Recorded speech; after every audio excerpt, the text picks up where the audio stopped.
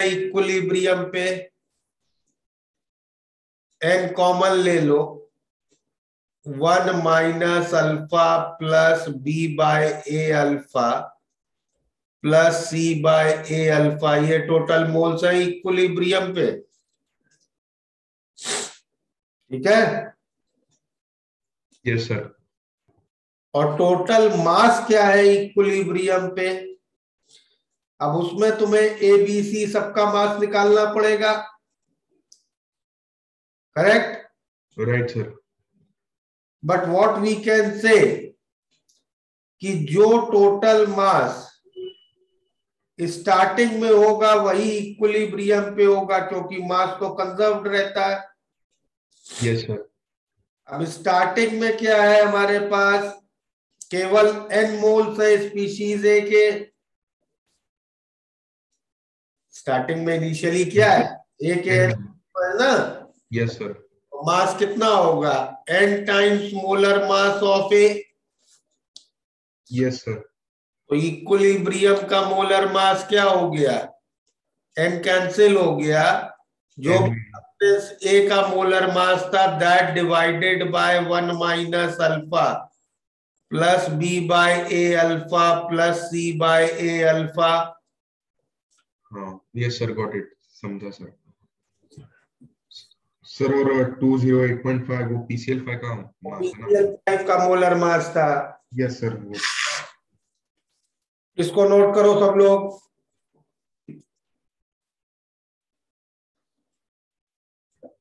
Thank you sir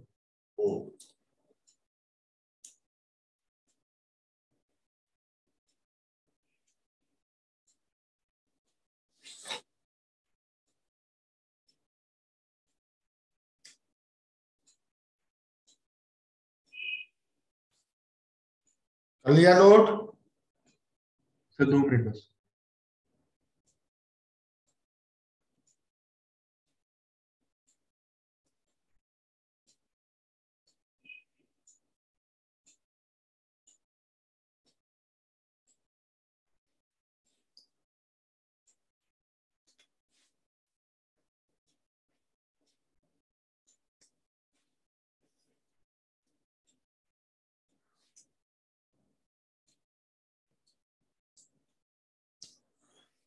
sir बोलो।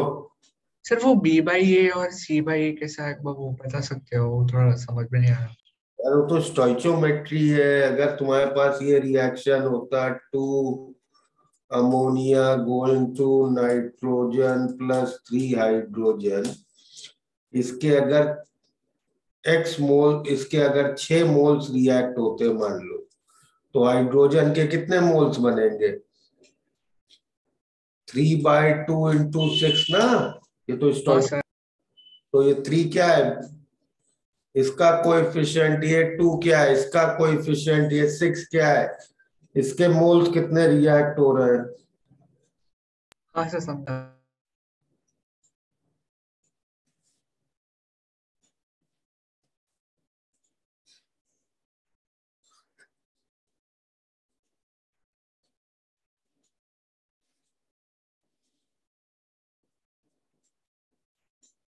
हाँ sir समझा हो गया note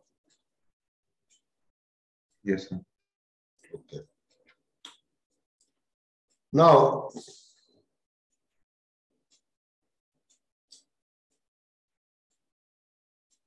let's proceed to homogeneous and heterogeneous equilibrium. Homogeneous equilibrium क्या है?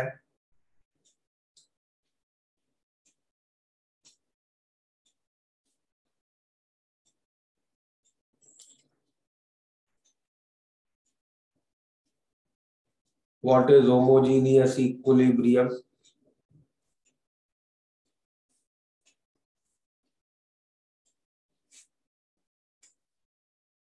all involved species are in same phase all involved species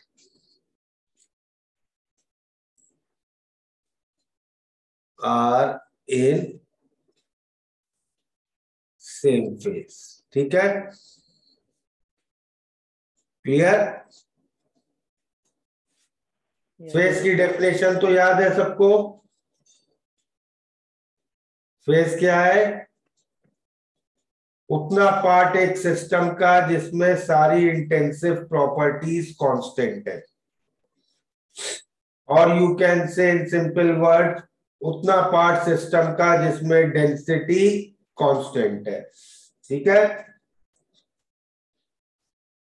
Okay Yes. Yes sir तो homogeneous equilibrium दो ही हो सकते हैं। पहले कौन से हो सकते हैं? जब सारी स्पीशीज कैसी हो, एक एक्वस सोल्यूशन में हो इस तरह की situation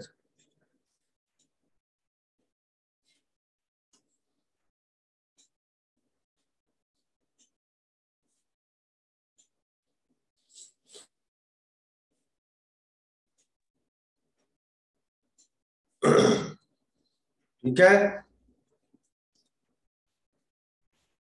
This is a aqueous phase homogeneous reaction. ठीक है? Yes, sir. अब इसमें एक्टिव मासेस किस यूनिट में लेते हैं हम लोग?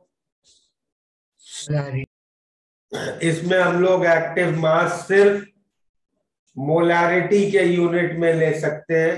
That is clear to us correct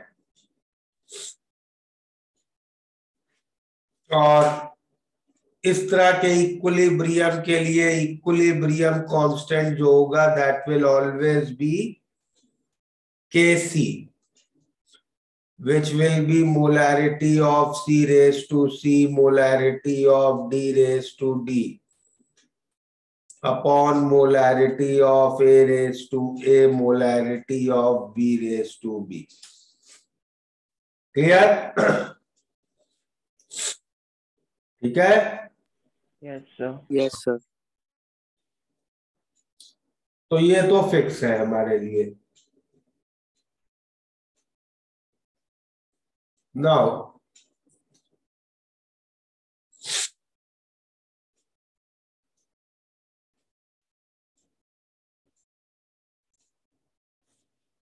दूसरा होमोजीनियस रिएक्शन कौन सा हो सकता है? बताओ। दूसरे टाइप के होमोजीनियस रिएक्शंस कौन से हो सकते हैं?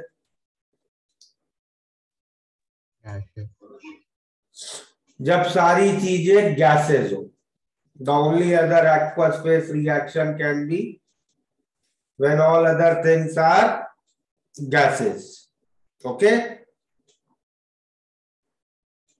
ठीक है? Yes, yes, तो ऐसी सिचुएशन कुछ हो सकती है हमारे पास। A times A gas plus B times B gas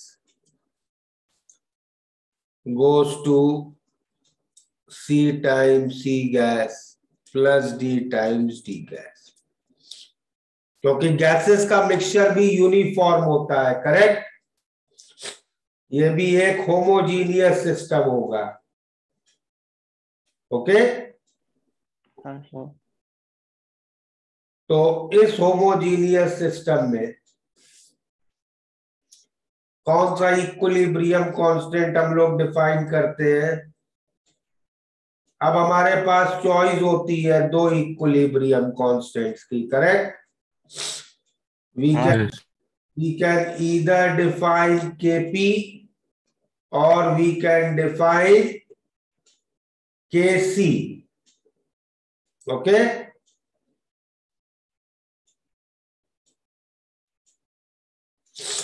तो केसी कैसे डिफाइन करेंगे इसमें? मोलैरिटी से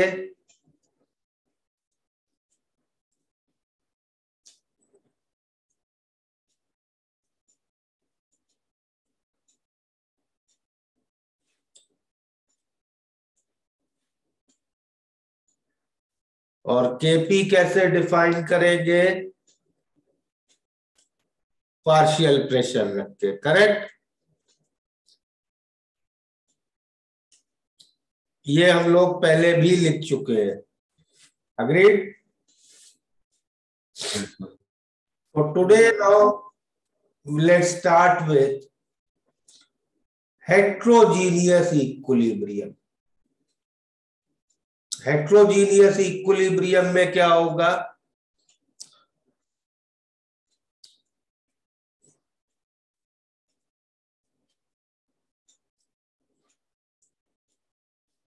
Heterogeneous equilibrium.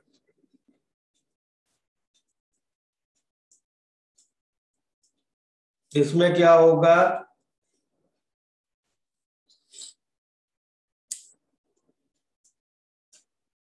Species involved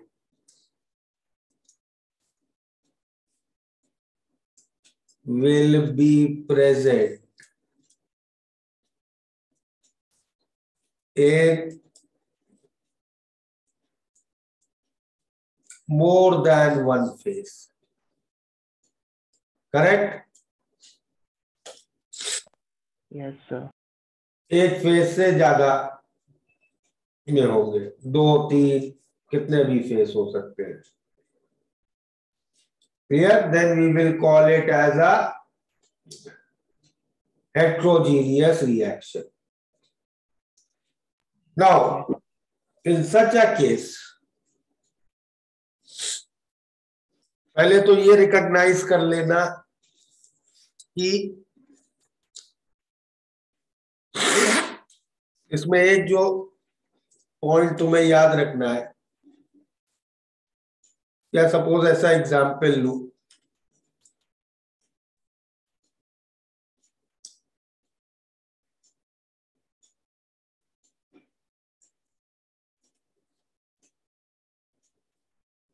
Is this a homogeneous reaction और एट्रोजीनियस है होमोजीनियस होमोजीनियस है ये। एक ही फेस है ना गैसेस का मिक्सचर तो होमोजीनियस होता है करेक्ट हाँ सर और ये रिएक्शन.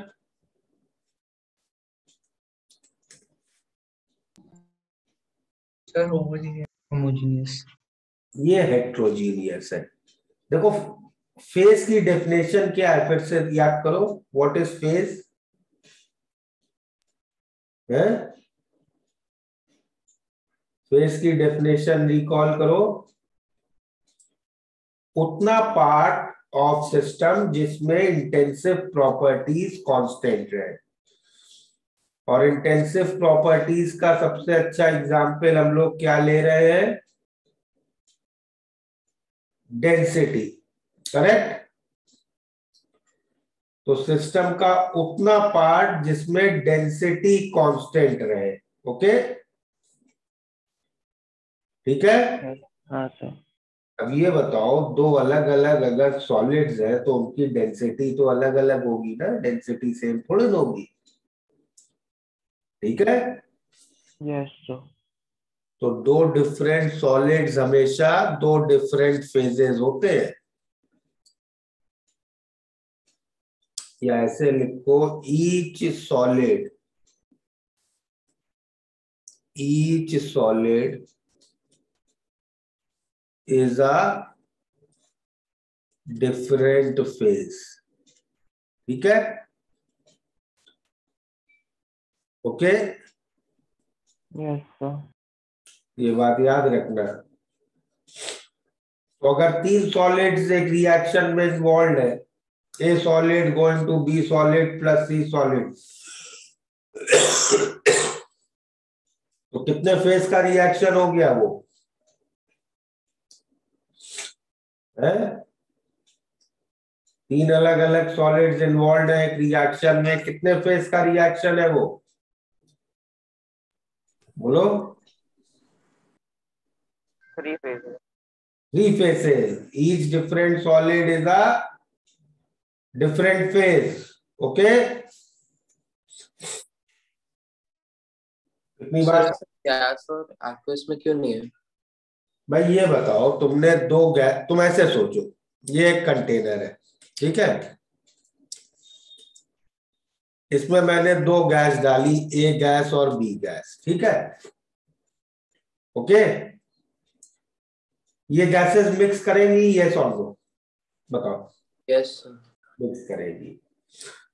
मिक्स करेगी मिक्स होने के बाद इस कंटेनर में कहीं क्या ऐसा होगा कि डेंसिटी अलग अलग हो। मतलब ऐसा कहीं होगा कहीं पे ए ज़्यादा है या कहीं पे बी ज़्यादा है मिक्सर यूनिफॉर्म नहीं है ऐसा कहीं होगा? ये बताओ। Nice. नहीं होगा। मिक्सर ये हमेशा यूनिफॉर्म रहेगा ना? हाँ सर करेक्टली तो इस यहाँ पे चाहे मैं सैंपल ले लू या यहाँ का सैंपल ले लू या यहाँ का सैंपल ले लू हर जगह डेंसिटी सेम मिलेगी मुझे? यस करेक्ट लेकिन अगर मैं दो सॉलिड लू ए सॉलिड और बी सॉलिड और इनको मिला दू तो क्या हर जगह डेंसिटी सेम मिलेगी? नहीं मिलेगी।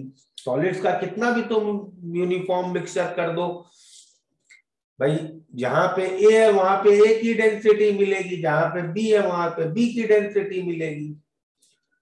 अब हमें यूनिफॉर्म डेंसिटी नहीं मिलेगी ना। समझे? हाँ तो इसलिए हर डिफरेंट सॉलिड एक डिफरेंट फेस होता है। ओके सर तो Yes, सॉल्ट प्लस वाटर वो भी एक अ, ये होमोजेनियस रहेगा ना? सॉल्ट प्लस वाटर अब जैसे ये पानी है करेक्ट इसमें तुमने NaCl डिजोल्व किया। और मान लो साथ में KCl भी डिजोल्व किया। एक बार डिजोल्व हो गया तो तो इस सोल्यूशन में हर जगह यूनिफॉर्म डेंसिटी मिलेगी ना? यस सर इस सोल्यूशन में अलग अलग जगह पे डेंसिटी अलग अलग थोड़ी होगी ओके तो इसलिए एक्वा सोल्यूशंस भी यूनिफॉर्म मतलब सिंगल फ़ेज़ सिस्टम्स होते हैं। ओके वही तो हम लोगों ने होमोजीनियस इक्विलिब्रियम के दो सिचुएशंस किए। Clear yes sir understood okay sir single phase gases है तो वो दोनों है ना रियल और आइडियल रियल और आइडियल गैसेस दोनों सिंगल फ़ेज़ है ना? हाँ गैसेस तो मिक्स करेगी ना। हाँ यूनिफॉर्म सर चाहिए बस। सर हाँ बोलो। सर बट रिएक्शन के बाद भी सर गैसेस में सेम अगर फेस नहीं बद मतलब तब भी वो फेस नहीं बदलेगा तो उसका डेंसिटी भी नहीं बदलेगा ना रिएक्शन के बाद? डेंसिटी बदलना मैं ये नहीं कह रहा हूँ डेंसिटी बदले ना। रिएक्शन में डेंसिटी तो बदलेगी ही। लेकिन पूरे कंटेनर की अलग अलग जगहों पे डेंसिटी अलग अलग नहीं होनी चाहिए। पूरे कंटेनर में यूनिफॉर्म डेंसिटी ओके हाँ सर समझा। अच्छा दूसरी चीज़ हेट्रोजीनियस इक्विलिब्रियम के प्रॉब्लम तो हमारे लिए बहुत सिंपल होंगे। क्यों? क्योंकि अगर हेट्रोजीनियस इक्विलिब्रियम की बात करें तो यानी सॉलिड्स और लिक्विड्स का इन्वॉल्वमेंट आ गया है। करेक्ट और हमें याद है ना एक्टिव मास क्या लेते हैं हम सॉलिड और लिक्विड्स का? One one active mass of pure solids and pure liquids.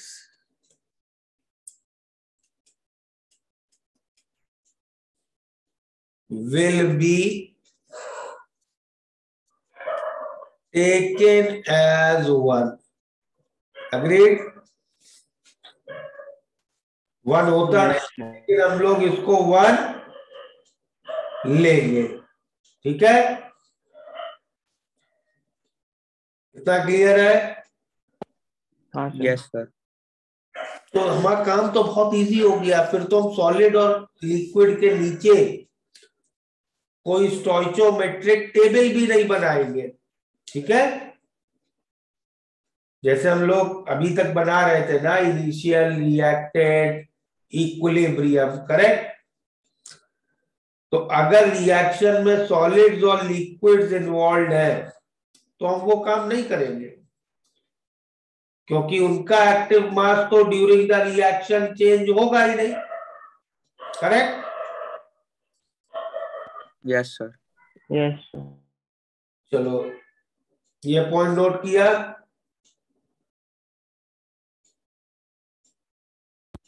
Yes yes sir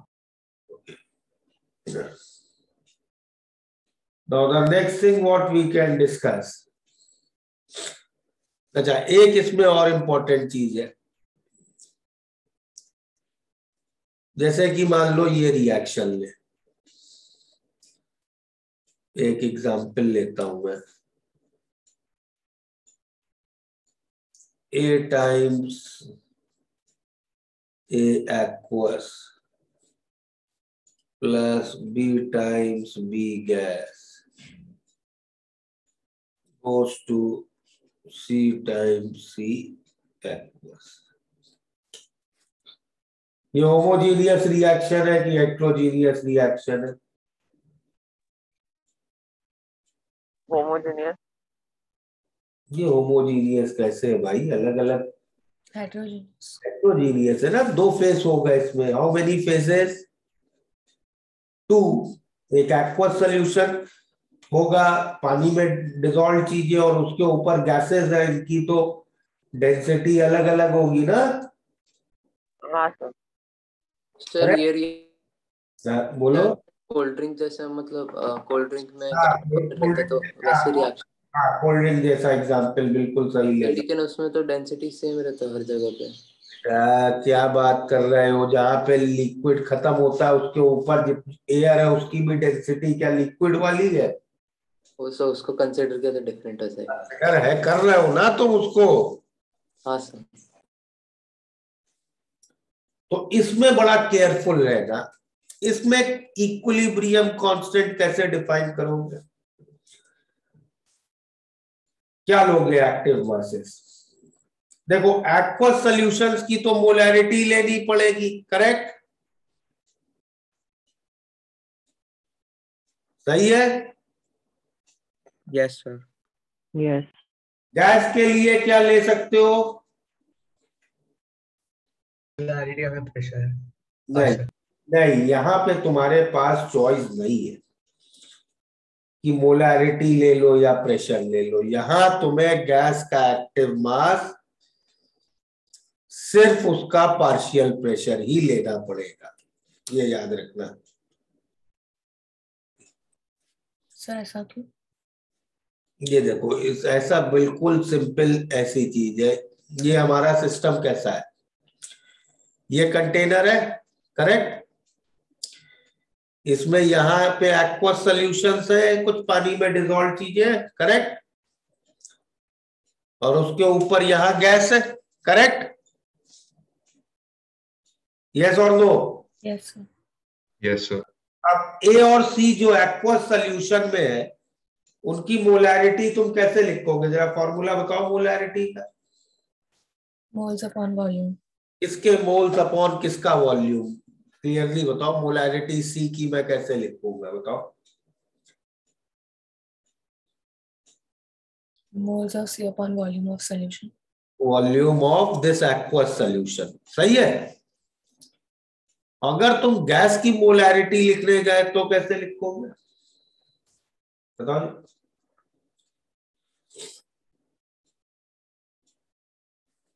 बोलो।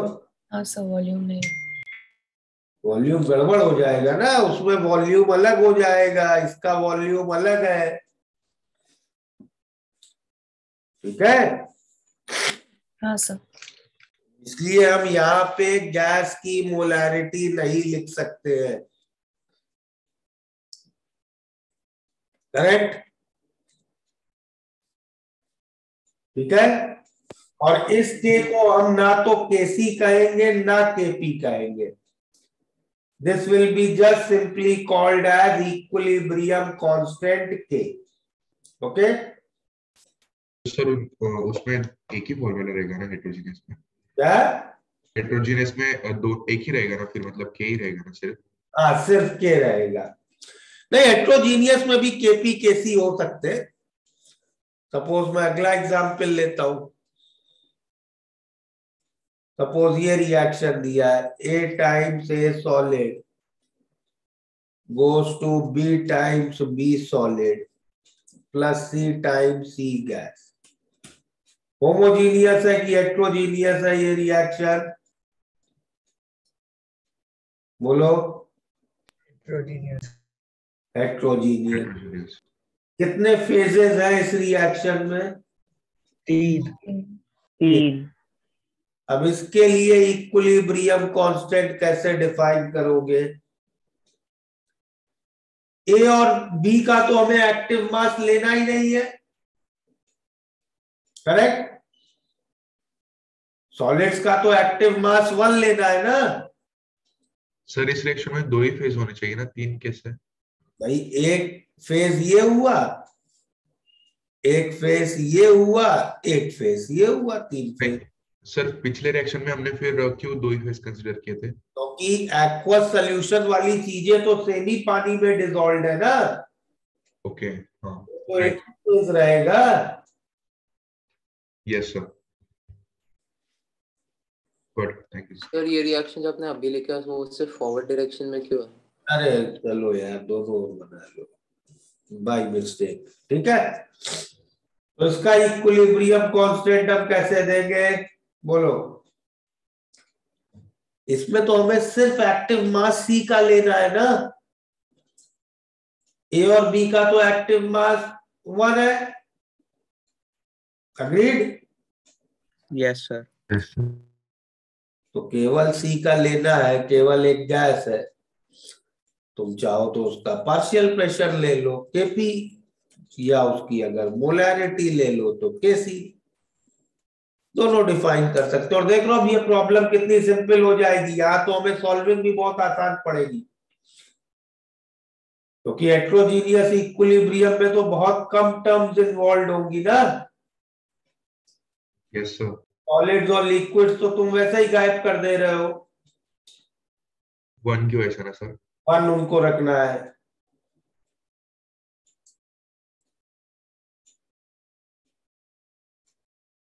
डन? बोलो।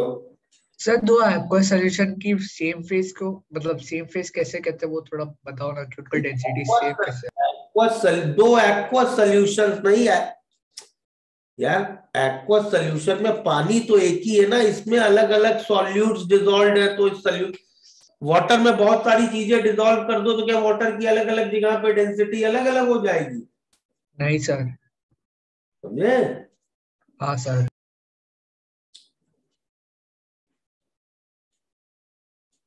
चलो सर एक मिनट इसके पिछले पिछला पेज। एक मिनट। ये? यस सर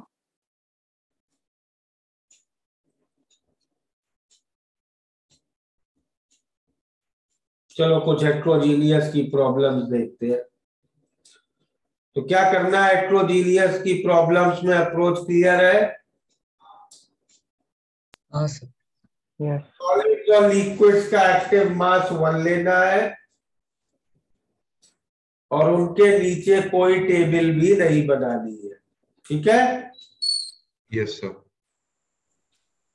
चलो एक बार कुछ स्टार्ट करने की कोशिश करो अटेम्प करो जरा।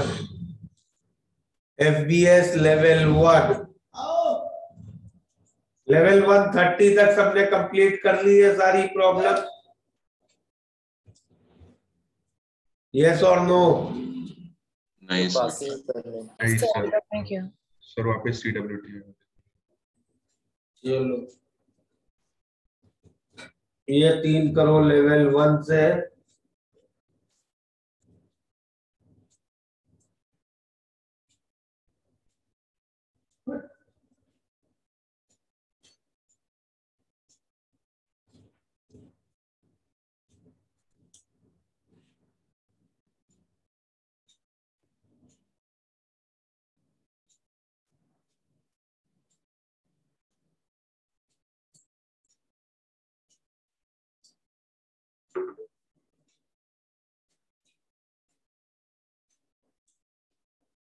और गेट इक्विप्ड एडवांस में भी अब आते हैं जरा।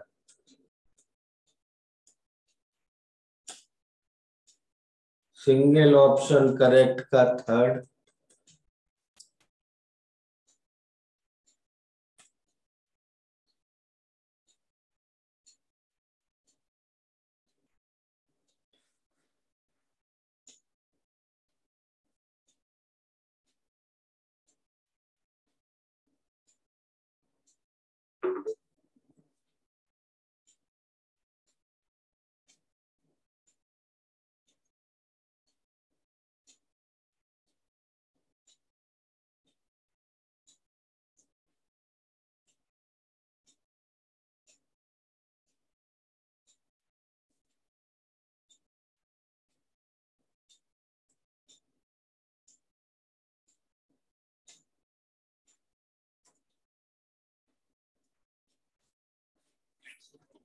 करो ये प्रॉब्लम्स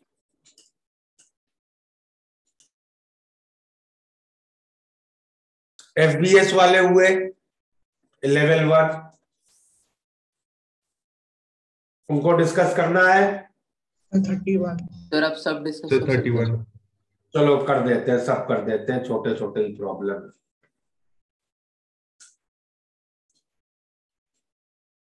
थर्टी वन में क्या दिक्कत आ रही है बताओ। रिएक्शन दिया है प्रॉब्लम में। हाँ सर। रिएक्शन दिया है। दिख रहा है हेट्रोजीनियस है। हाँ सर।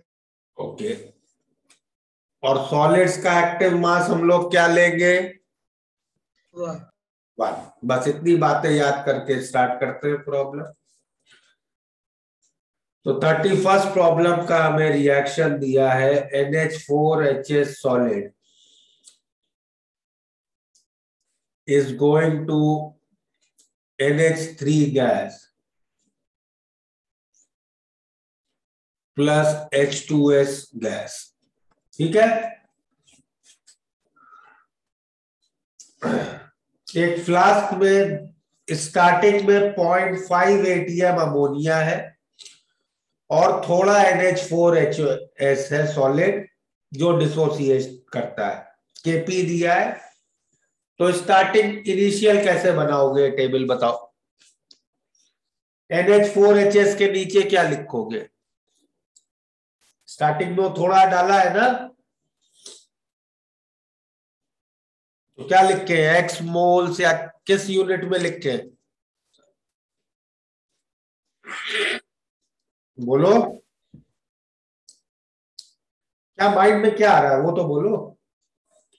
सर नहीं लिखेंगे सॉलिड के नीचे हमें टेबल ही नहीं बनानी है क्यों वरी करें हम? जो भी हो स्टार्टिंग में होगा।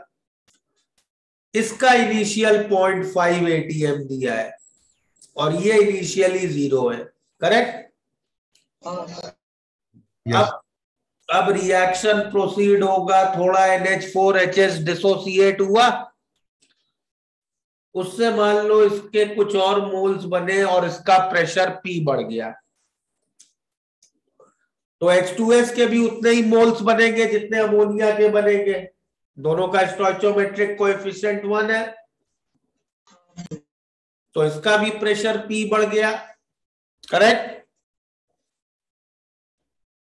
agreed sir. तो इक्विलिब्रियम पे अमोनिया का प्रेशर हो गया 0.5 प्लस पी और H2S का प्रेशर हो गया P okay?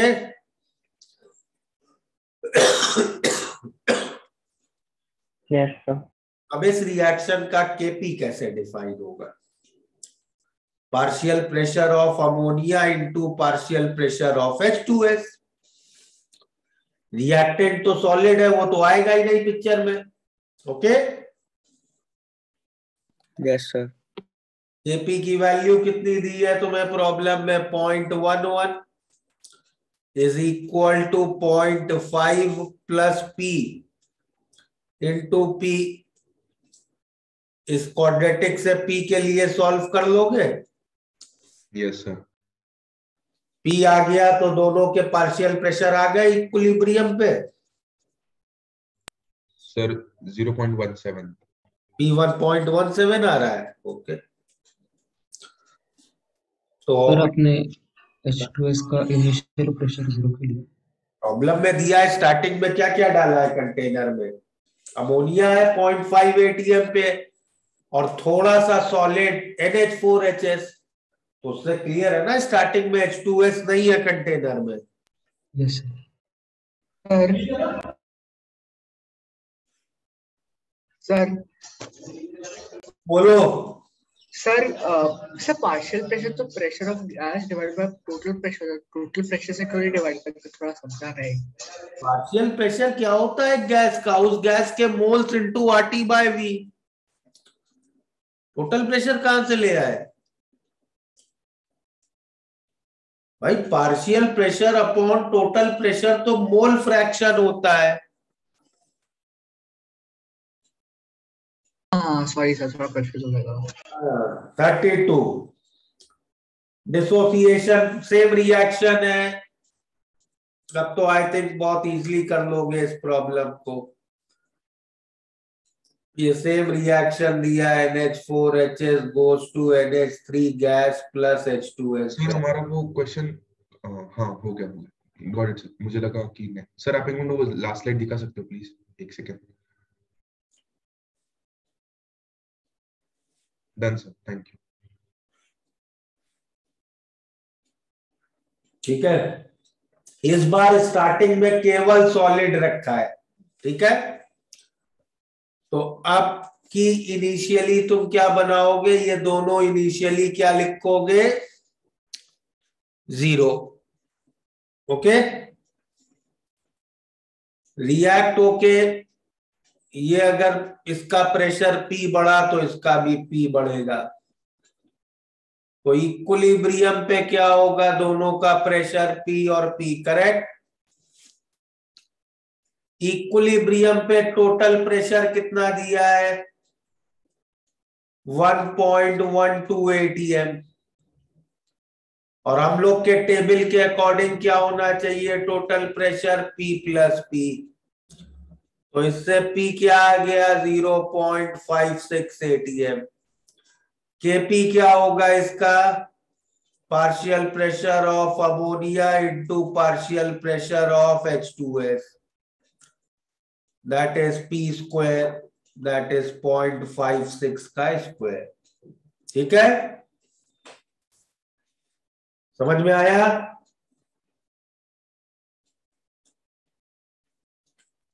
Yes, sir. Thirty three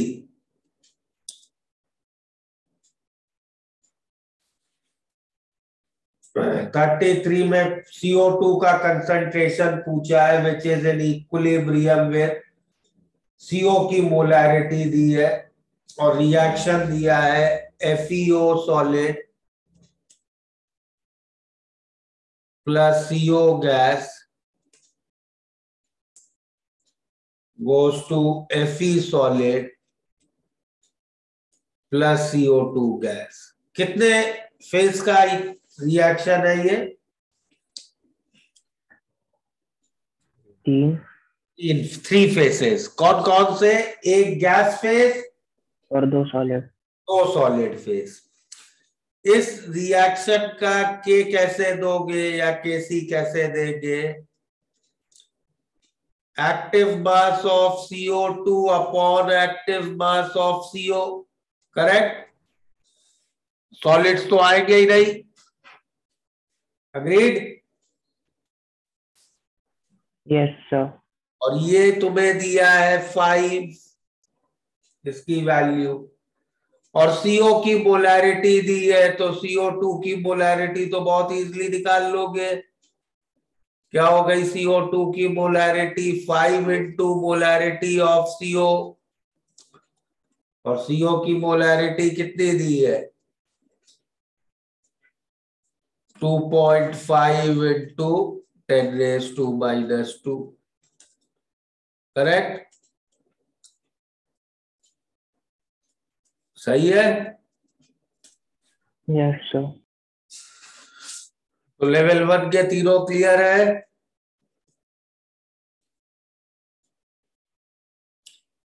level two का नाइन्थ सर आप एक बार लास्ट लेटर दिखा सकते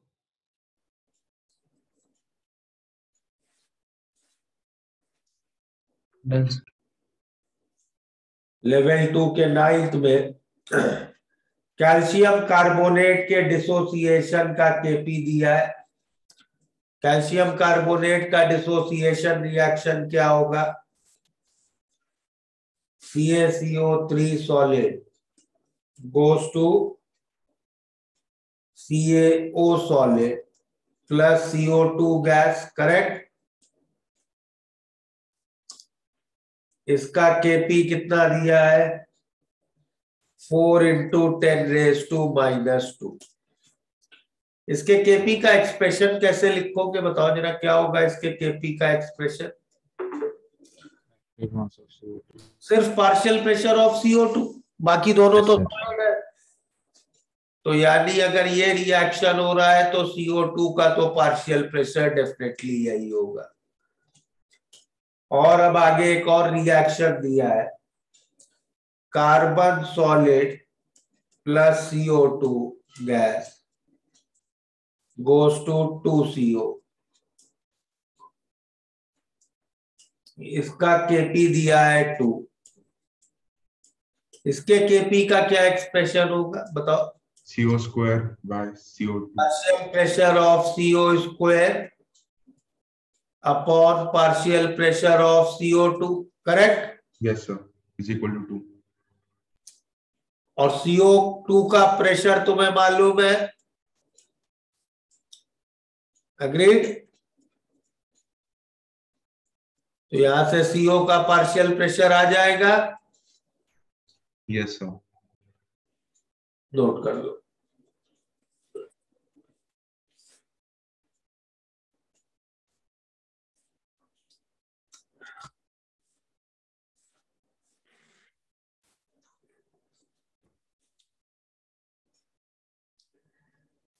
done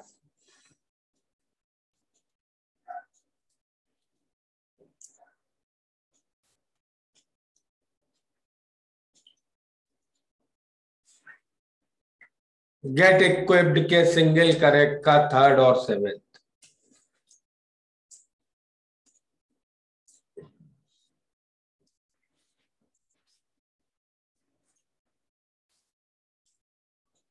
problem.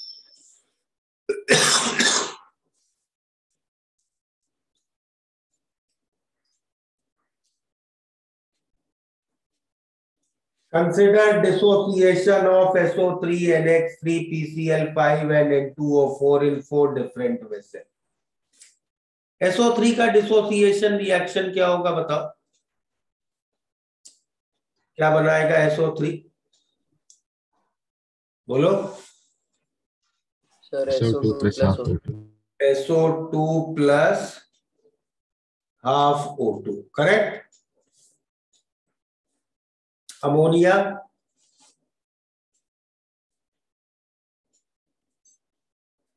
half N2 plus 3 by 2 H2 correct PCl5 PCl3 plus Cl2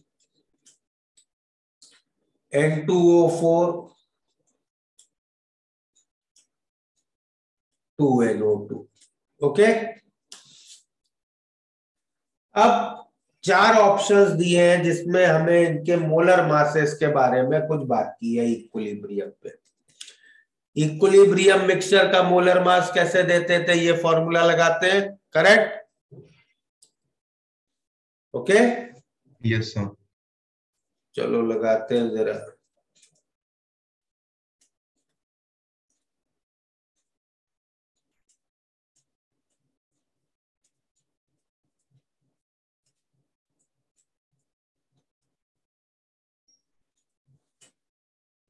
तो इसका मोलर मास क्या होगा इक्विलिब्रियम पे? न्यूमरेटर में क्या रखोगे? SO3 का मोलर मास करेक्ट SO3 का मोलर मास कितना है? 80 अग्रीड Yes, sir. डिनोमिनेटर में क्या? One minus alpha plus B by A alpha तो एसओ टू एसओ थ्री दोनों का स्टोचोमेट्रिक कोएफिशिएंट वन है plus C by A alpha ये हो गया। करेक्ट Yes, कितना आ गया ये?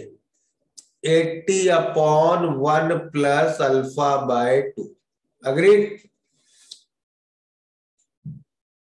बोलो कोई दिक्कत अब ये बताओ अल्फ़ा की मैक्सिमम वैल्यू कितनी हो सकती है? वन।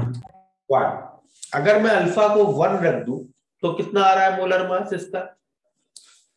इस मिक्सचर का इक्विलिब्रियम मिक्सचर का मोलर मास कितना आएगा अगर अल्फ़ा को वन रख दू?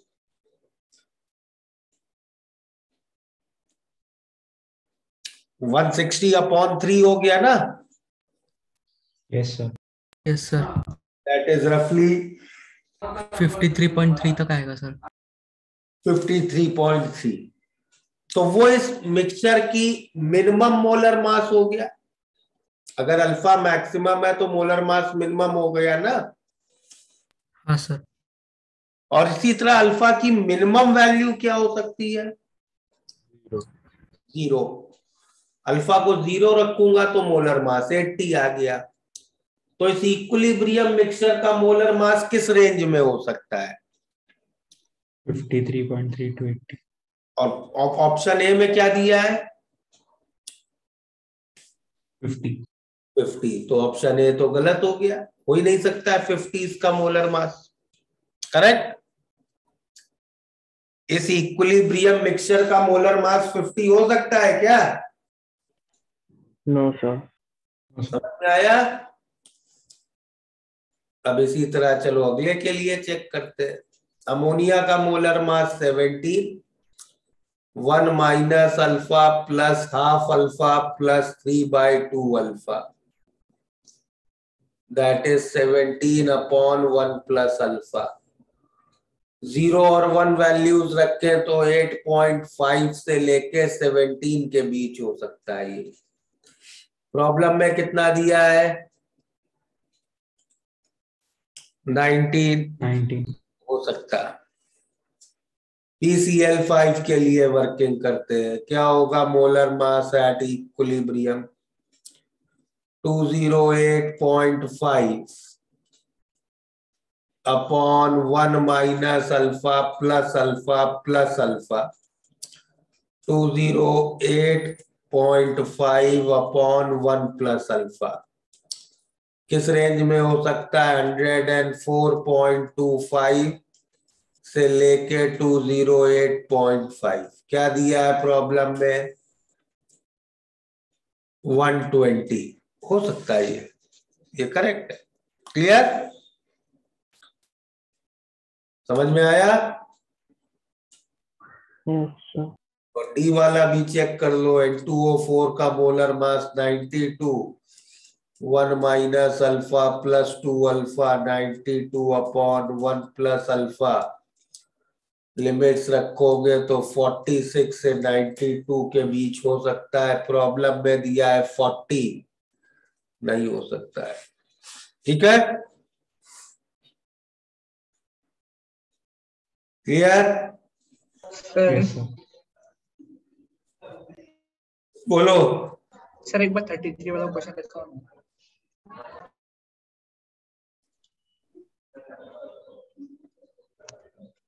थैंक यू सर समझ में आया ये? Sir Yes, sir. KCl हाँ, वाला भी वन प्लस अल्फ़ा ही होगा ना? वन प्लस है sorry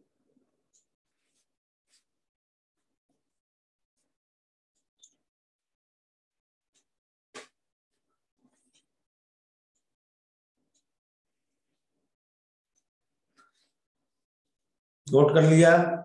Sir one minute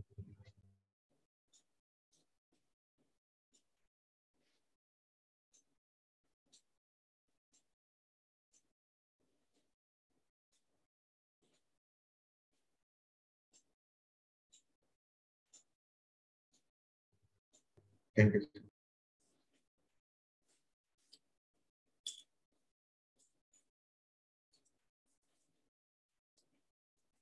Seventh problem.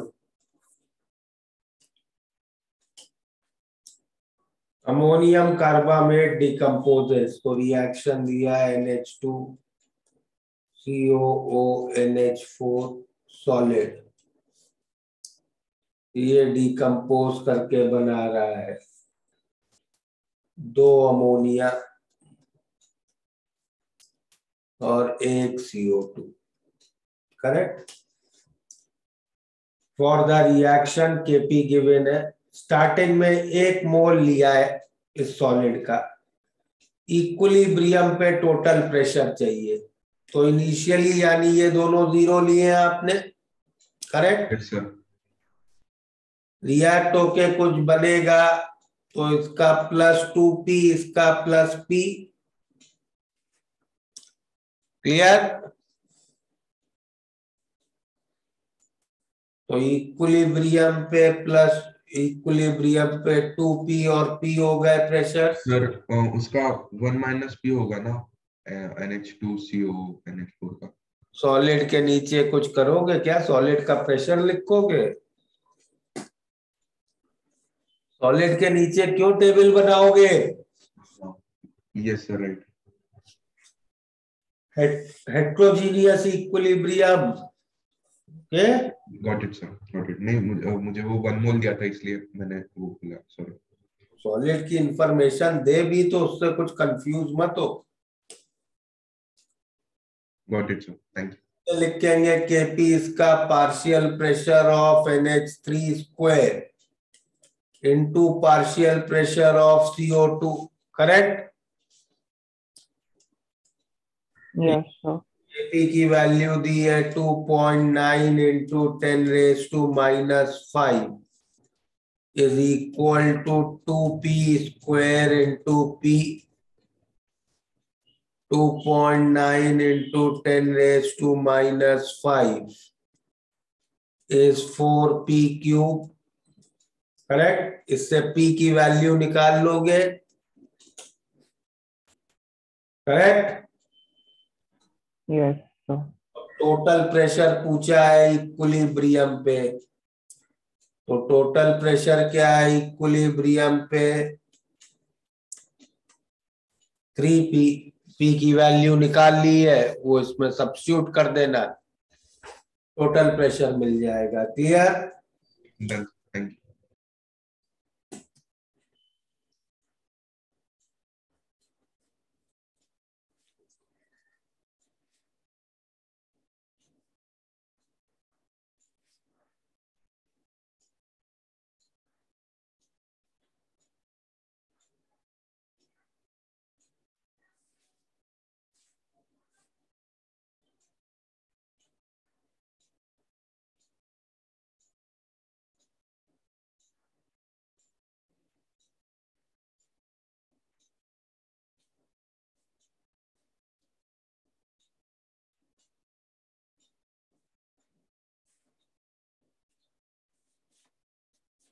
कर लिया नोट